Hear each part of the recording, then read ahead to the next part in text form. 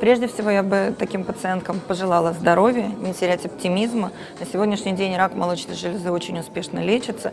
Есть хорошие новые методики э, химиотерапии, гормонотерапии, лучевой терапии. Помимо этого, очень э, продвинулась реконструктивно-пластическая хирургия.